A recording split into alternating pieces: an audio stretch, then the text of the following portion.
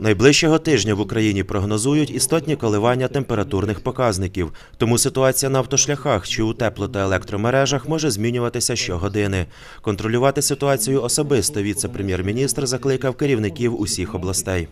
Ще раз наголошую, що головним завданням губернаторів, міських голів, керівників підприємств теплокомуненерго, водопостачання, газопостачання, електроенергетики, дорожнього господарства та Державної служби з надзвичайних ситуацій є забезпечення сталого функціонування систем життєзабезпечення.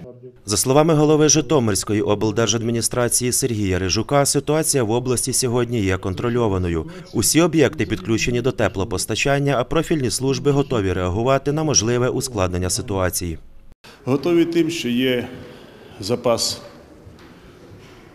усіх необхідних матеріалів, фінансових ресурсів. Усі комунальні установи працюють, теплоенергетика працює, слава Богу, без збоїв. Ми розраховуємося. Сьогодні я підписав ще розпорядження на компенсацію тієї різниці в тарифах, коли люди справно платять, але цього вистачає по газу, там, по водозабезпеченню лише 50% до собівартості.